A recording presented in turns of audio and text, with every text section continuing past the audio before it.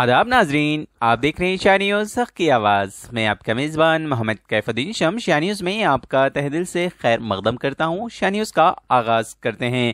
बासर सरस्वती मंदिर के दर्शन के लिए आए भक्त का मोबाइल फ़ोन लेकर हुआ बंदर फरार। सेलफोन में रहा घंटों अजीब हरकतों के साथ मसरूफ। बना सब की तवज्जे का मरकज। तफसीत के मुताबिक हमारे शाह न्यूज़ के बासर मंडल रिपोर्टर सैयद लतीफ़ की रिपोर्ट के मुताबिक आज बासर सरस्वती मंदिर में एक अजीब कारनामा रोनुमा जमा हुआ, जिसमें दर्शन के लिए आए भक्त का मोबाइल फ़ोन बंदर लेकर फरार हो गया, जिसके बाद बंदर मंदिर के बालाई हिस्से में बैठकर घंटों मोबाइल फ़ोन में अजीब व गरीब हरकतें करते हुए मसरूफ रहा।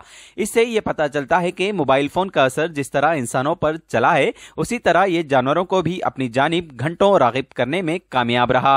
इस सारे मनाजिर को वहाँ आए भक्त अपने अपने फोनों में रिकॉर्ड कर रहे थे और बंदर के मोबाइल फ़ोन के साथ हरकतें देखकर लुफ्त अंदोज हो रहे थे, क्योंकि कई मरतबा बंदर ने मोबाइल फ़ोन को कुछ इस तरह अपने हाथों में थामा जिस तरह लोग सेल्फी लेते वक्त मोबाइल फ़ोन को पकड़ते हैं। काफ़ी घंटों की मेहनत व मशक्कत के बाद बंदर ने मोबाइल फ़ोन को नीचे फेंका जिसे भक्त ने हासिल करते हुए अपनी जानिब से खुशी व मसरत का इजहार किया क्योंकि कई घंटों तक बंदर इसके मोबाइल फ़ोन के साथ तमाम लोगों के लिए तमाशाई बना रहा।